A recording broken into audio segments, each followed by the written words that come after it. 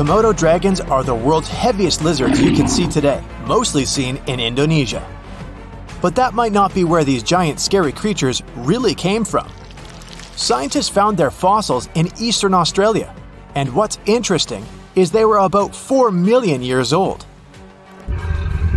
They're dominant in the food chain and can take down really big animals like deer, water buffalo, and wild boar. Komodo dragons will basically eat almost anything that comes their way. Since Komodo dragons are not so picky when it comes to their meal, people believed for a long time that their bites can be fatal because of the number of bacteria in their mouths.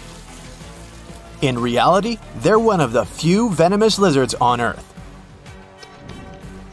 Gharial really looks like a creature you'd see walking by dinosaurs and fighting for its spot in the food chain in prehistoric times. These fellas have been on our planet for tens of millions of years.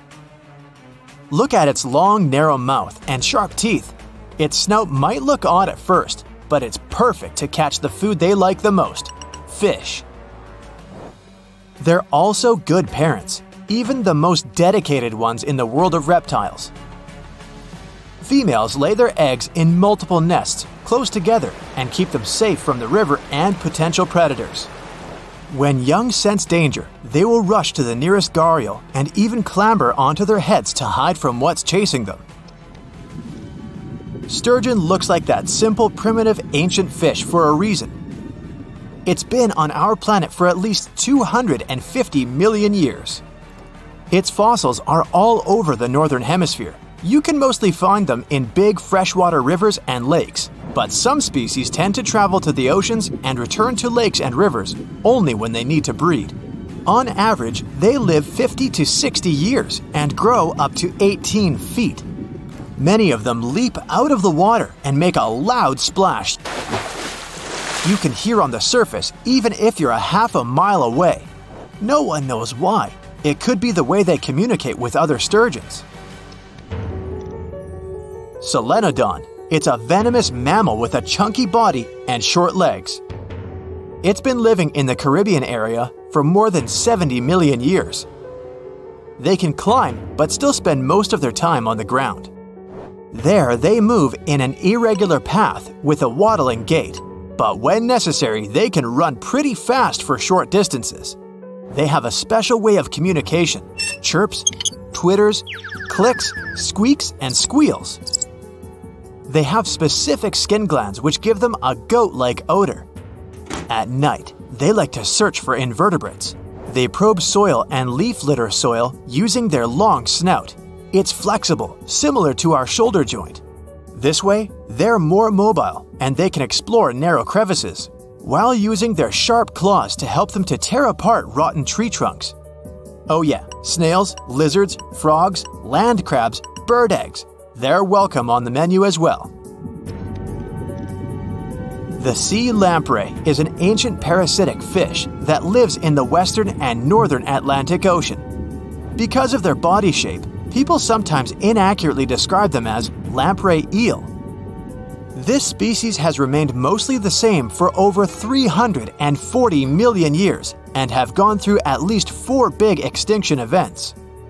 They have a pretty well developed sense of smell. That's why they use odors to communicate with each other and navigate their way through. Check out their teeth. They have at least 12 rows of them arranged in circles. A single nostril lies at the top of their heads.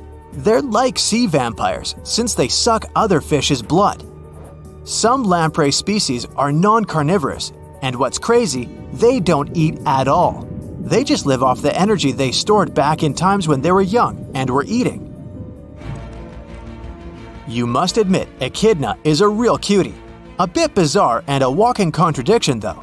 First, they look like a mix between an anteater, a badger, and a porcupine.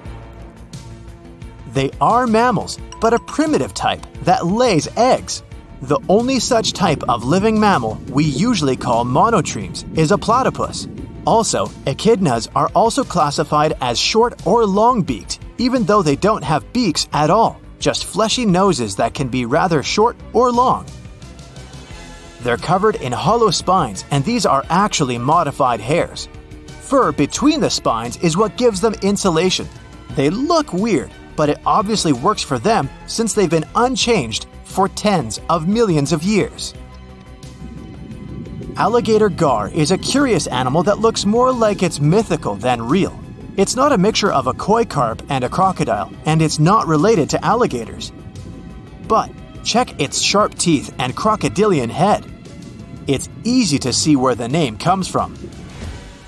They're more than 150 million years old, and this is the biggest fish species in North America that spends nearly all of its time in fresh water.